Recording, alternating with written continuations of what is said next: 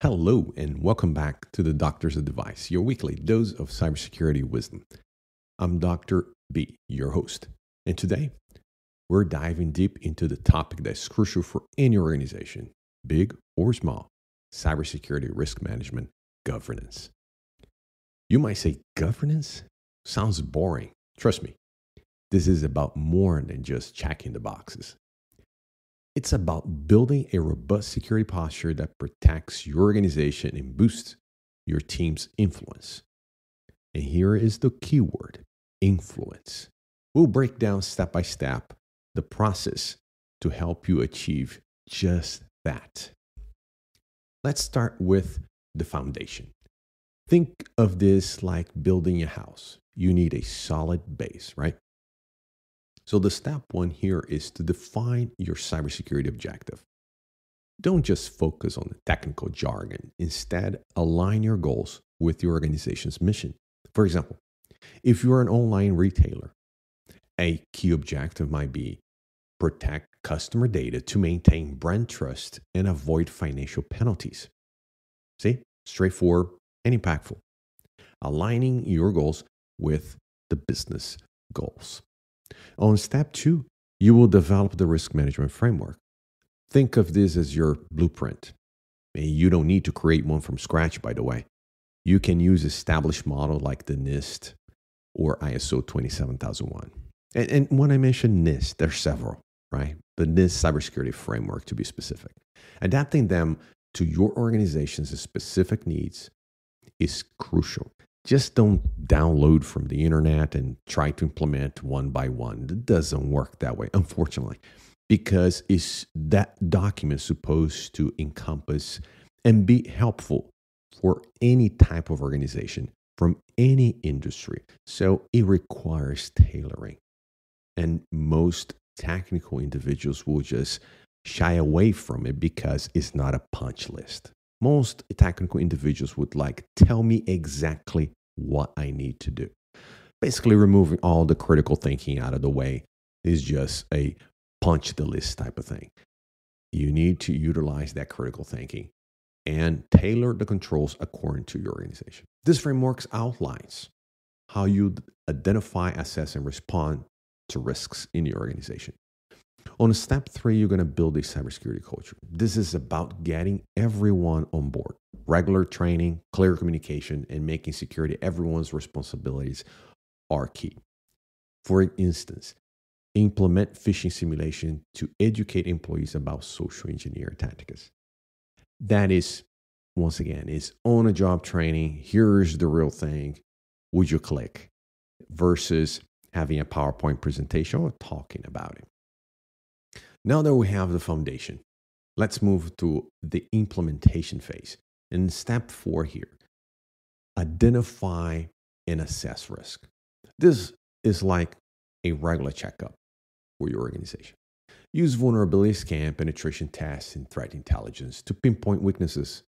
Prioritize these risks based on their potential impact. For example, a vulnerability in your customer database would be higher and have a higher priority than an outdated software version on a rarely used system.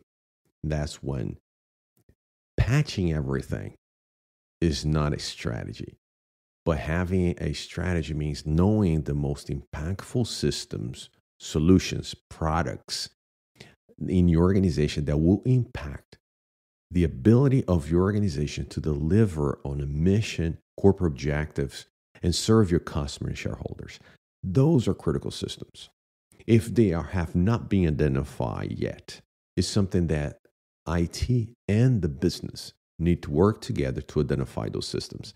Is not necessarily a cybersecurity function. However, as a second layer of defense, second line of defense, you should understand how they approach the assessment of these critical applications. But once you understand that, set the priorities and start using them for your risk management. Develop here on step five, you're going to develop risk response strategies. Is is just not sufficient. To identify, hey, I have a risk. But what are you going to do about it? The so what question. Here's where you go take action. Implement security controls like firewalls, multi factor authentication, and data encryption to mitigate risks. Also, have an incident response plan ready to handle breaches effectively because it's not a matter of if, but when you will get hacked. So, step six monitor and review is a continuous improvement mindset. Cybersecurity is not just a set and forget it task. Continue to monitor your security controls, update the risk uh, assessments and processes, and track key metrics like the number of phishing attempts blocked or time taken to patch critical vulnerabilities. That will give you key insights where you need to improve. And finally, let's talk about um, amplifying your team's impact. Remember, I mentioned earlier about influence. So, step seven, you're going to communicate effectively.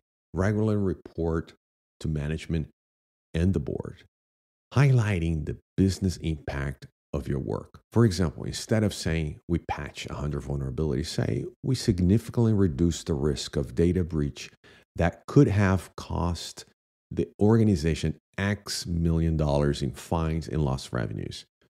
Now, once again, taking the technical jargon out of the equation, aligning the vulnerabilities and uh, technical expertise that you have on a day-to-day job and translating that to business language language and not only business language that align with the business objectives and the mission remember we used the little uh, example earlier about being a retail.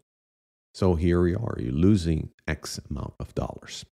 That is key to have that clear communication. And step eight collaborate with stakeholders. Work with different departments to understand their needs and integrate security into their workflows. For instance Partner with HR to ensure secure onboarding practice for new employees. And step nine, demonstrate value. Track the ROI of your security investments and showcase your team's success. Did you prevent a major cyber attack? Shoot it from, you know, shout it from the rooftop. Shoot it straight, plain language. And ROI perhaps is not very clear. It's just another topic from another time. But understanding how, how your investment is turning into a return on investment. For example, the example we gave about we significantly reduced the risk of data breach that could cost the company X million dollars in fines and lost revenues. Now, the investment that you ask for your organization and the savings that you have demonstrated, that's your return investment. That's one of many. But once again, another day, another topic, uh, ROI. And, and that's a wrap. Remember, effective cybersecurity risk management governance is an ongoing journey. By following these steps, you can build a strong security posture, trust me, and enhance your team's visibility and become trusted advisor to your organization. Thank you for tuning in into the Doctor's Advice, the Cybersecurity Risk Podcast. Be sure to subscribe for more expert discussions on the latest cybersecurity strategy and best practice. Until then.